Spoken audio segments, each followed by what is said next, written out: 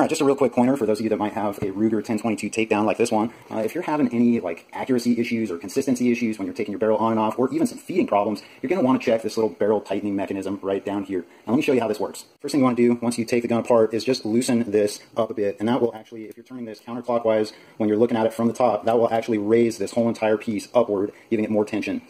So once you've got this thing kind of screwed out and up enough to where you can no longer lock your barrel into place, too high, what you want to do is start just incrementally backing this down, which means you're going to turn this thing clockwise, which will bring it down. And you're just doing a couple of clicks at a time until you get it just right. You'll kind of find the sweet spot when it becomes nice and firm, not overly tight. You don't want to have to wrench on it, but you want it nice and firm where it requires a decent amount of twist pressure to get that to lock in place. And that right there will not move. That'll get rid of any of the free play.